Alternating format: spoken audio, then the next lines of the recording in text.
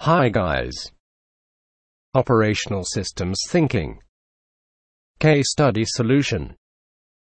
This case is about operations management.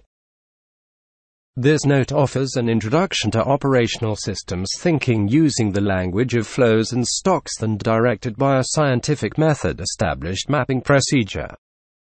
Operational mental models link explicit cause and effect relationships to the dynamics behaviors over time that unfold within the system. Thanks for watching this video.